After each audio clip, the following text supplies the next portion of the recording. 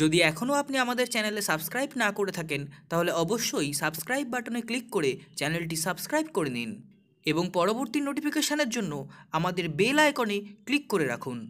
Exclusive এবং advance study material এবং তার পিডিএফের জন্য আমাদের টেলিগ্রাম গ্রুপ এবং ফেসবুক পেজে অবশ্যই জয়েন করুন। নমস্কার বন্ধুরা নলেজ একাডেমিতে আপনাদের স্বাগত। আমি সাগ্নিক সুন্দর চলে এসেছি। আজকে আমাদের যে thousand general science MCQ series চলছিল তার পার্ট টু নিয়ে। পার্ট ওয়ান আশা করি সবাই দেখেছেন। যারা দেখেননি তাদের কিন্তু বারবার বলছি ডেসক্রিপশানে লিঙ্ক দেওয়া আছে। দয়া করে সেই লিঙ্কে ক্লিক করে পার্ট ওয়ানটা দেখে নিন। সেখানে খুব সুন্দরভাবে বিস্তারিত বর্ণনা করা আছে প্রত্যেকটা প্রশ্নোত্তর সম্পর্কে। এখানেও আমরা আলোচনা করব পঁচিশটি প্রশ্ন এবং তার উত্তর সম্পর্কে। তাই দয়া করে ভিডিওটি না কেটে পুরোটা দেখুন, এতে আপনাদেরই লাভ। জেনারেল সায়েন্স সম্পর্কে সম্পূর্ণ ধারণা আপনাদের ক্লিয়ার হয়ে যাবে। এবং সেই ক্লিয়ার হওয়ার জন্য কিন্তু সবার আগে প্রয়োজন এমসিকিউ সলভ করা। তো সেই এমসিকিউ আকারে আমরা কোশ্চেনগুলো রেখেছি, আমরা নলেজ একাডেমি টিম আমাদের এডিটররা এই পিডিএফ বানাতে বা এই পাওয়ার পয়েন্টটি বানাতে সাহায্য করেছে। তাহলে চলুন দেরি না করে শুরু করা যাক আজকের ভিডিও আজকের প্রথম প্রশ্ন stainless steel is an alloy of stainless steel কোন কোন ধাতুগুলি সংকর?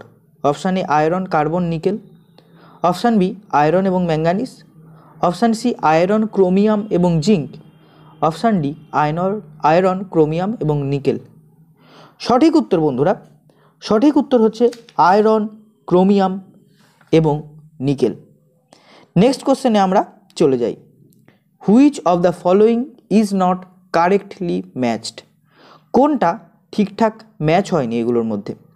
Galena is to lead sulphide green vitriol is to copper sulphate plaster of Paris is to calcium sulphate calomel is to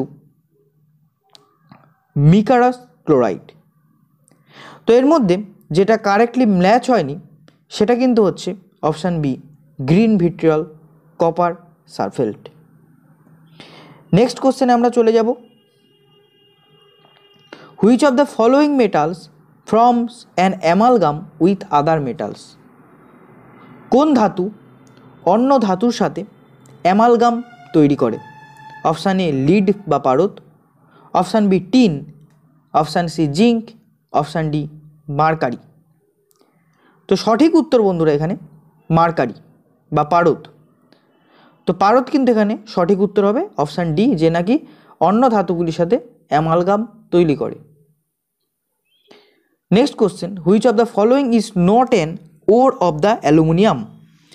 এই চারটে অপশানের মধ্যে কোনটি? অ্যালুমিনিয়ামের একটি আকরিক নয়। Option A feldspar, option B bauxite, option C cryolite, option D azurite. সঠিক উত্তর হচ্ছে অপশান ডি আজিরাইট, যেটা নাকি অ্যালুমিনিয়ামের আকরিক নয়। আমরা এর আগের সিরিজে দেখেছিলাম যে অ্যালুমিনিয়ামের সর্বপ্রধান আকরিকের নাম কি ছিল? না, আকরিকের নাম ছিল বক্সাইট। তো নেক্সট কোশ্চেনে আমরা চলে যাব। Which of the following is an element element কোনটি? এই যে চারটে যে অপশানগুলো আছে, এর মধ্যে এলিমেন্ট কোনটি? Option A ruby, option B sapphire, option C emerald, option D হচ্ছে ডায়মন্ড।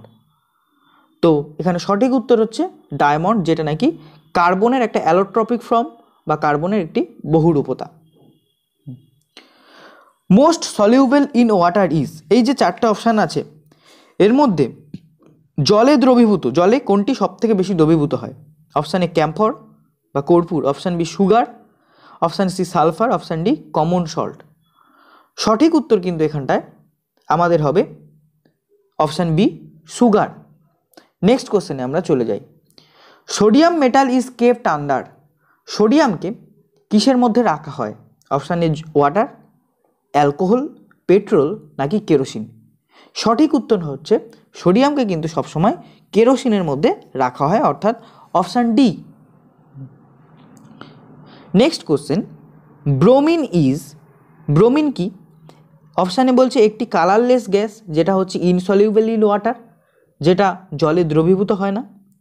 অপশান বি বলছে, এ হাইলি ইনফ্লেমেবল গ্যাস খুব তাড়াতাড়ি জ্বলে যায় এমন একটা গ্যাস অপশান সি বলছে ব্ল্যাক সলিড কালো রঙের একটি কঠিন।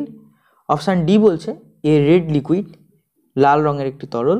অপশান ই বলছে নান তো সঠিক উত্তর হবে এখানটায়। অপশান এ, একটি বর্ণহীন গ্যাস যেটা নাকি জলে দ্রবীভূত হয় না। তারপরের কোশ্চেন আমরা অনেকেই হয়তো জানি এর উত্তরটা। The metal used in storage batteries is storage battery যেগুলো হয়, সেখানে কোন ধাতু ব্যবহার করা হয়?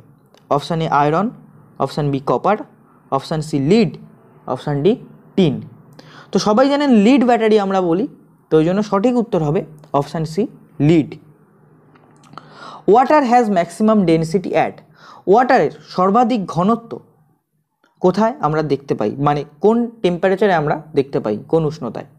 Option A minus one degree centigrade option B zero degree centigrade option C four degree centigrade option D hundred degree centigrade সঠিক উত্তর হচ্ছে অপশান সি চার degree centigrade non stick cooking utensils are coated with non stick যে রান্না করার পাত্রগুলো আছে, সেগুলো coat করা থাকে বা সেগুলো আবরণ দেয়া থাকে কোন পদার্থের?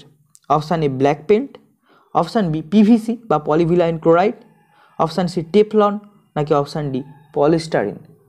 তা এর উত্তর হচ্ছে বন্ধুরা অপশান সি টেফলন। নেক্সট কোশ্চেনে আমরা চলে যাই। The chemical name for urea is ইউরিয়ার রাসায়নিক নাম জানতে চেয়েছে।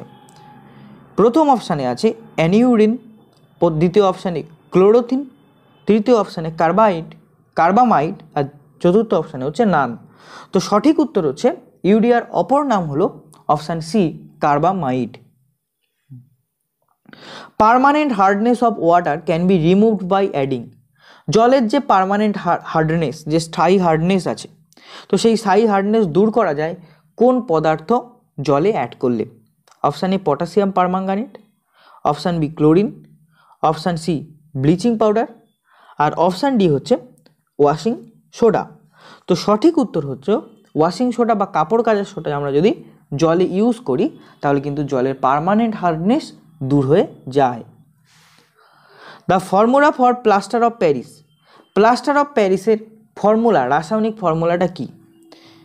C A S O four নাকি C A S O four two H two নাকি two C A S O four four H two নাকি two C A S O four H two তো সঠিক উত্তর কিন্তু এখানটা বন্ধুরা, সেটা হচ্ছে option D two C A S O four H two ওই হলো প্লাস্টার অফ প্যারিসের রাসায়নিক সংকেত। Which of the following pairs doesn't contain a coinage metal কোন জোড়া? এই যে অপশানগুলোর মধ্যে কোন জোড়া একটি কয়েনেজ মেটাল বা যে মেটালগুলো দিয়ে কয়েন তৈরি হয়, সেই মেটালগুলো কন্টেন করে না। অপশান এ হচ্ছে কপার এবং গোল্ড অর্থাৎ তামা এবং সোনা। অপশান বি রূপো এবং সোনা। অপশান সি জিঙ্ক এবং সোনা। অপশান ডি হচ্ছে কপার এবং সিলভার তো আমরা সবাই জানি জিঙ্ক কিন্তু কয়েনেজ মেটালের মধ্যে পড়ে না। তাহলে উত্তর হবে অপশান সি, জিঙ্ক এবং gold. Next question, which of the following is used in pencils? এর মধ্যে কোনটি পেন্সিলে ইউজ হয়? চারকোল, সিলিকন, ফসফরাস নাকি গ্রাফাইট? সঠিক উত্তর হচ্ছে অপশান ডি, গ্রাফাইট, যেটি পেন্সিলের শীষ তৈরিতে ব্যবহার করা হয়। Which of the following is the second most abundant metal in the earth crust? আমরা প্রথম পর্বে সবথেকে বেশি প্রাচুর্যময় মেটালের খবর বা মেটালের নাম জেনেছিলাম। আজকে আমরা জানব দ্বিতীয় সর্বোচ্চ আর্থের ক্রাস্টে প্রাচুর্যতা পূর্ণ মেটালের নাম কি? সেটা হচ্ছে option A copper, option B aluminium, option C iron, option D হচ্ছে জিঙ্ক। তো সঠিক উত্তর কিন্তু এখানটায় সেটা হচ্ছে অপশান সি আয়রন, যেটি হচ্ছে second most abundant metal in earth crust. Carborundum is carborundum carbon কি? এটা জানতে চেয়েছে। অপশান এ বলছে সিলিকন ডাইঅক্সাইড, অপশান বি বলছে সিলিকন কার্বাইড, অপশান সি বলছে সিলিকন নাইট্রাইড, আর অপশান ডি বলছে সিলিকন ফসফাইড। তো সঠিক উত্তর হচ্ছে সিলিকন কার্বাইডের অপর নাম হচ্ছে কার্বনডাম। তাহলে ওই জন্য সঠিক উত্তর দাঁড়াল অপশান বি। নেক্সট কোশ্চেন আমরা চলে যাই। Chlorophyll is a naturally occurring chelate compound in which the central metal অর্থাৎ বলছে ক্লোরোফিল যেটা নাকি প্রকৃতিতে পাওয়া যায়, তার প্রধান ধাতু কোনটি? তো উত্তর কিন্তু আমরা সবাই জানি, যারা ছোটোবেলায় বায়োলজি পড়েছি, তারা সবাই জানে যে ম্যাগনেশিয়াম যেটা নাকি অপশান ডিতে আছে, এটি ক্লোরোফিল তৈরির মূল উপাদান।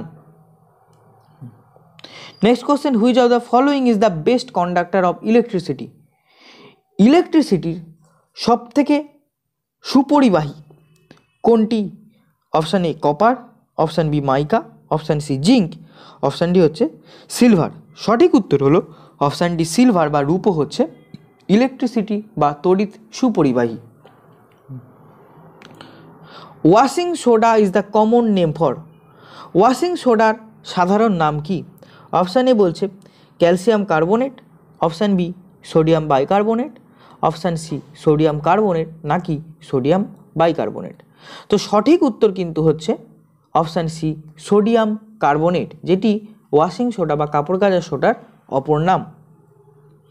তার পরের কোশ্চেন বলছে the filament of an electric bulb is made of একটা ইলেকট্রিক বাল্বের ফিলামেন্ট কোন ধাতু দ্বারা তৈরি হয়? লোহা দ্বারা নাকি নাইক্রোম দ্বারা নাকি টাংস্টেন দ্বারা নাকি গ্রাফাইট দ্বারা? তো সঠিক উত্তর হচ্ছে টাংস্টেন দ্বারা কিন্তু ইলেকট্রিক বাল্বের ফিলামেন্ট তৈরি হয়। Next question bleaching powder is made from আমরা জানি ব্লিচিং পাউডার তো সেই ব্লিচিং পাউডার কোন মানে কোন উপাদান দ্বারা তৈরি হয় সেইটা চেয়েছে। অপশান এ বলছে sulphur dioxide and gypsum option B chlorine and charcoal option C soda ash and lime option D lime and chlorine তো সঠিক উত্তর হচ্ছে লাইম অ্যান্ড ক্লোরিন। চুন এবং ক্লোরিনের সমন্বয়ে কিন্তু ব্লিচিং পাউডার তৈরি হয়। তারপরের কোশ্চেনে আমরা চলে যাই। The two elements that are frequently used for making transistors are transistors transistor তৈরিতে যে প্রধান দুটি উপাদান লাগে, সেই প্রধান দুটি উপাদানের নাম কি? প্রথম অপশানে বলছে বোরন অ্যান্ড অ্যালুমিনিয়াম। দ্বিতীয় অপশানে সিলিকন অ্যান্ড জার্মেনিয়াম তৃতীয় অপশানে ইরিডিয়াম অ্যান্ড টাংস্টেন এবং চতুর্থ অপশানে নিওবিয়াম অ্যান্ড কোলাম্বিয়াম। তো সঠিক উত্তর হচ্ছে অপশান বি, সিলিকন এবং জার্মেনিয়াম। এই সিলিকম এবং জার্মেনিয়ামই কিন্তু ট্রানজিস্টর তৈরির মূল উপাদান হিসাবে ব্যবহৃত হয়। তারপরে বলছে which of the following gases is not known as green house gas এটাই আজকের সর্বশেষ কোশ্চেন অর্থাৎ বলছে, এর মধ্যে কোন গ্যাসগুলো গ্রিন মানে কোন গ্যাসটি গ্রিন হাউস গ্যাস হিসাবে পরিচিত নয়? অপশান এ বলছে carbon dioxide, option B methane, option C nitrous oxide, option D বলছে ক্লোরোফ্লোরোকার্বনস, আর অপশান ই হচ্ছে হাইড্রোজেন। এর উত্তর বন্ধুরা, সর্বশেষ যে কোশ্চেনটা আছে, এর উত্তর আপনারা কমেন্টে দিন। তাহলে আমরা বুঝতে পারব যে আপনারা ক্লাসটি পুরোপুরি ফলো করছেন কি করেননি। আপনাদের ক্লাসটি কেমন লাগল? এবং এই রকম ক্লাস আরও চান বা এই সিরিজটা কন্টিনিউ করতে আপনারা চান কি না, যদি মতামত জানান কমেন্টে তাহলে খুবই ভালো হয়। আমরা তাহলে এরকম ক্লাস আরও আনব এবং আরও তাড়াতাড়ি ফ্রিকোয়েন্টলি আনব এবং একটা রুটিন ওয়াইজ আনার চেষ্টা করব। এবং ক্লাসটি যদি আপনাদের ভালো লেগে থাকে, সামান্য মাত্র যদি ভালো লেগে থাকে, তাহলে ক্লাসটি লাইক করুন, বন্ধুদের কাছে শেয়ার করুন এবং আমাদের ইউটিউব চ্যানেলেও সাবস্ক্রাইব করে রাখুন। And after all thanks for watching